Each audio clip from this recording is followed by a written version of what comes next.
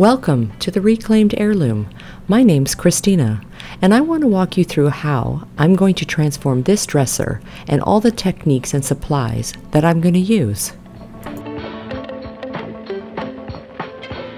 I've received a lot of comments in regards to salt wash and chalk paint mix, so I would like to demonstrate for you a really good base with the salt wash and chalk paint and walk you through some of the details. So again, what's really key with making the salt wash is, is my can already previously opened? We know with any type of opening of the can, there's always that chance of it will have evaporation, which now makes the paint itself a little bit thicker. Fresh can of paint, you should be good to go with a good shake and a stir. Add your salt wash 50-50. If you feel that because the can is open or your container of paint is already opened, pour it out separately, add your salt wash. If you need it's too thick. It's the consistency does not have this nice flow to it. Then add a little bit more paint in your measuring cup. Take a little bit of water, stir it a bit more, add it. And where you're going all the time is that nice, like we're gonna make a nice cake because we've got a nice flow here. If, if I'm really pushing this and it's really cakey, no, it's, it's too thick. So I really hope that helps. I've also made a mix of the Paris Grey chalk paint and salt wash in 50-50. I wanted to show you up close what the textures look like with the salt wash and chalk paint mix. And as you can see, you can play with your textures. If you want to make high points or low points, or if for any reason you've put too much on an area and you just want to knock it down a little bit, there's definitely a lot of forgiveness with the textures of salt wash. The application process is literally just stippling. You're stippling and tapping your brush with the salt wash mix. So now I want to show you that you can shade with chalk paint using a small little tiny chippy brush and of course my Starbucks.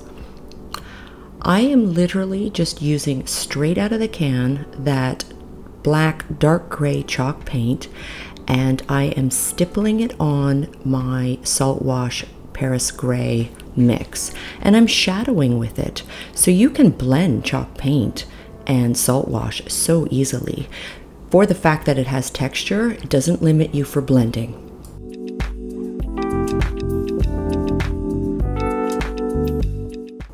So the original color of salt wash chalk paint mix I made is using the Annie Sloan chalk paint in Chateau Gray and I'm blending it with the Paris Gray.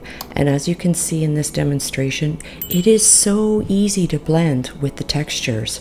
If anything, it's a little easier.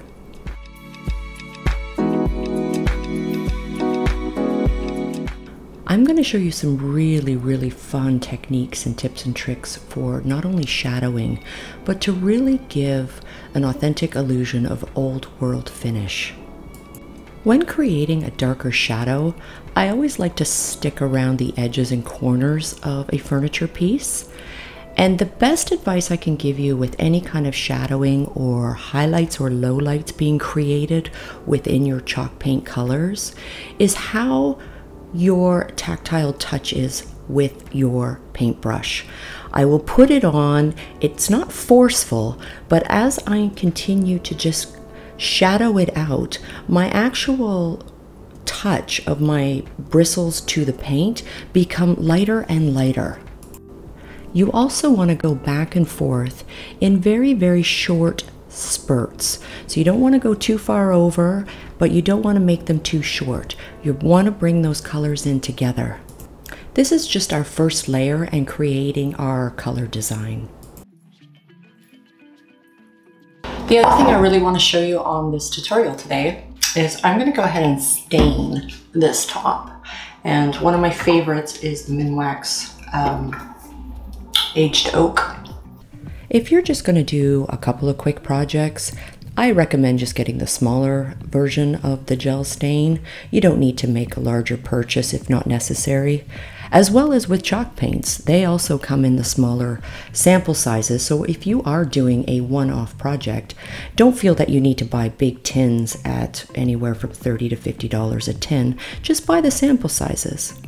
As you can see, gel stain is super easy. You literally just apply it on. The only thing I recommend is probably making your brush strokes in one direction. So I generally just go on a very simple horizontal direction and stroke one way. I have a tendency to put it in a little bit more liberated than you probably need to, but I really like the dark, rich look.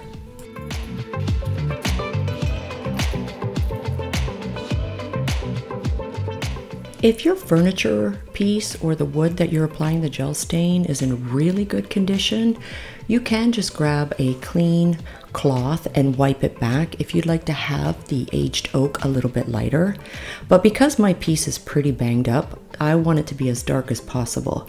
And I'm also even going to darken my edges by putting in a second application and feathering it out all around the edges just to give that nice worn kind of look with the wood tone.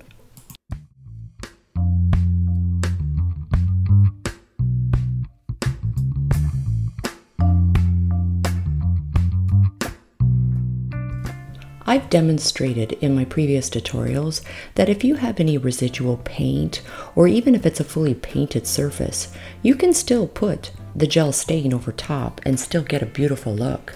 As you can see, I sanded down this piece, but I didn't take all of the paint off of all the tiny detail around the wood carvings. But you won't even see that with this gel stain. That's the beautiful component. Your prep work is fairly minimal when working with a gel stain versus just a regular wood stain. Just make sure that the surface you are going to apply the gel stain is cleaned well and dust free. The drying time for gel stain varies. It depends how much you've put on. Just like myself, I'm a little bit more liberated with it or how many applications you've done. It'll vary from a few hours to say 24, 48 hours. It does create a beautiful look and there's so many beautiful wood tone colors to choose from. And I generally use Minwax, but General Finishes also creates a really good quality gel stain.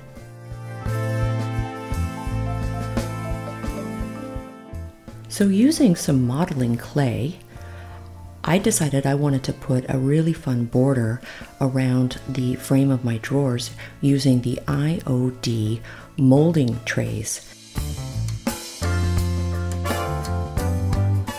These are an excellent quality molding tray and all you're doing, it's so easy, is you're placing the molding clay inside of the tray and you're literally flattening it as much as possible and that's what's going to give you that detail. And use something with a really, really clean, sharp edge just to take any excess for the back.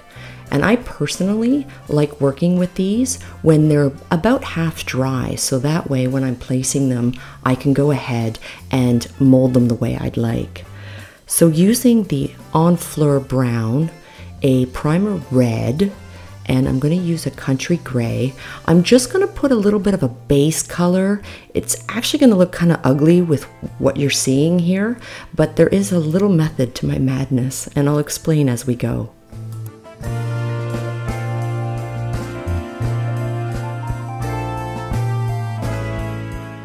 So I want to use these molds on the drawer fronts and with the colors I've already chosen for the overall base of the dresser, I'd like to have a little bit of contrast underneath because as we get a little bit further along, I'm going to show you how I'm going to blend all of this together and I promise it will make sense.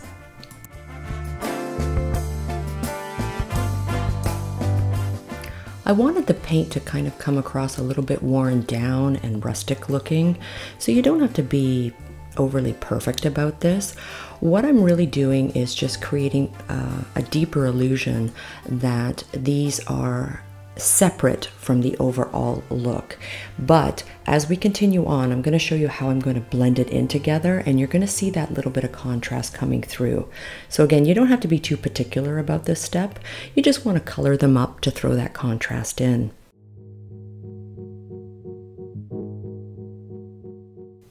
The No More Nails is my preference when I'm working with molds and placing them onto furniture. And again, I didn't want my molds to be completely dry. And the reason is I can push them in together and give a more natural look that it's all one strip rather than several. And this just allows you to play with that clay um, before it's completely firm and dry. And I have placed the drawers so they are on a um, horizontal, but as soon as I'm done placing with the No More Nails, it's almost instantaneous. So I can go ahead and place my drawer fronts back to the um, vertical plane that I had, and they're not going to drop down. So, not to worry about that. I just found that it was a little bit easier to place with the drawer fronts out. Now I want to get into my top coat and this is where I'm going to blend those IOD molds and I'm going back to the exact same colors of the salt wash mixes of Paris Grey and Chateau Grey. And I'm just going to keep randomly blending in on top of those molds. But I'm going to show you as it starts to come together and I'm going to create more shadowing and I'm even going to add in a little bit of the Honfleur brown chalk paint with my shadowing.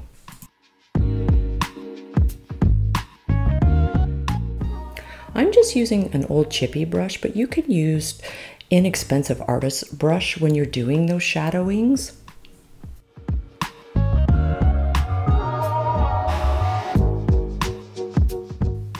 I'm really looking forward to showing you how I'm going to use dry milk paints as we get further along the project and how that's really going to create this really, really nostalgic rustic look.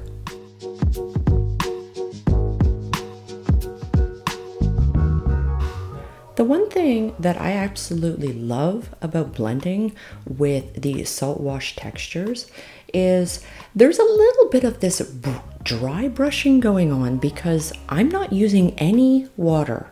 I normally will use a spray water bottle when I'm blending with chalk paints, but with all this texture, it seems to lock into color and allow movement with that added texture that I don't need to use water as I'm blending. So this makes for a very simple way to blend and if anything, as I mentioned before, a little bit easier. So now you can see why I wanted the contrast of the IOD molds. So that middle drawer, I've just placed my second layer on and you can kind of start to see it coming together now that I'm placing my final coat and doing that little bit more shadowing.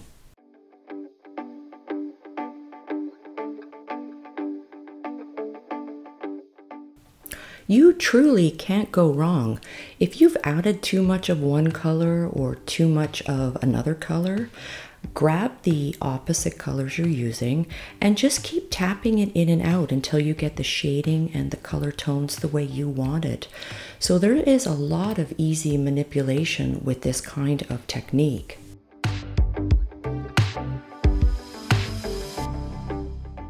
My Sphynx cat, Dimitri, always loves to come in and snoop around, but it's more demanding that he needs attention and love. Dimitri doesn't care how busy I am. When he wants attention, he'll scream till he gets it.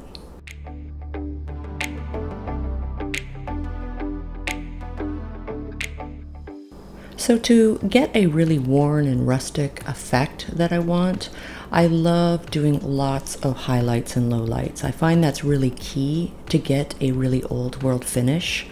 So using any of the light and dark colors and almost repeating over and over again, especially when you do have or have created high points, such as the IOD molds or if your furniture piece has a lot of wood detail.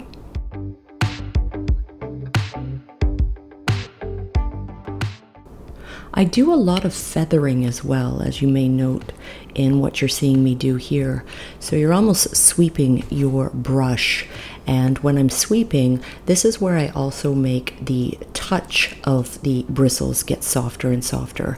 And this is what's going to really help that transition in your colors from highlights to lowlights.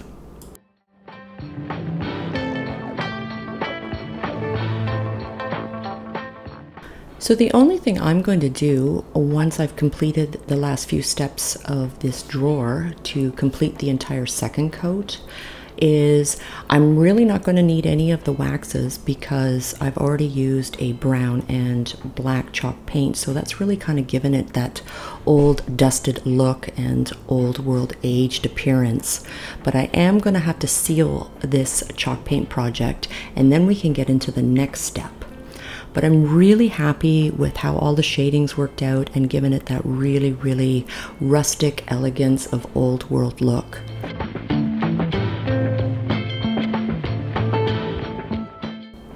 So to seal a chalk paint project, you can use actually a lacquer, and I use a disposable sponge.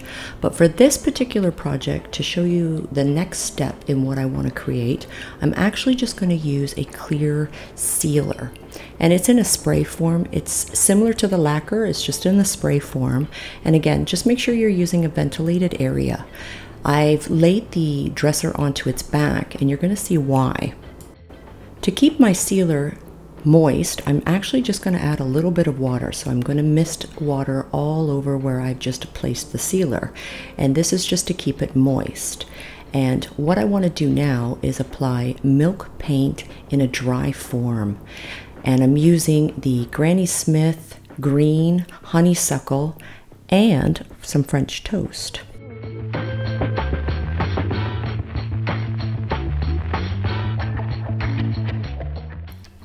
This step is totally optional. You, of course, do not have to do it. I absolutely love it. I think it really, really puts emphasis on old world character, and you're really just adding some dust of age. And by using a couple of the different color tones within the milk paint, it looks so genuine. So I'm just adding a little bit more water and I'm literally just randomly going around and adding to the corners, edges, and a little bit on the IOD molds now because the sealer is still moist and I've added that little bit of water, when I turn this upright again, I'm just going to use an old artist brush here and I'm just going to flick off anything that hasn't actually adhered. So you actually have a bit of control on how much you want. And I love its effect. It really just gives it a little bit of a smoked out aged effect. So really key to adding that little bit of water to help the adhesion of the dry milk paint to get this effect. But I absolutely love it and it's, it's it completely adhered on there. It's not gonna come off. Again, you don't have to use the spray. You can use the lacquer with the paint. Just remember to add a little bit of water while you're using the milk paint in the dry form. Thank you so much for watching this video, and if you have any questions, please leave me a comment in the comment box below, as well as hit that thumbs up and don't forget to subscribe. Looking forward to seeing you next Saturday for another decorative finish with chalk paint. Take care.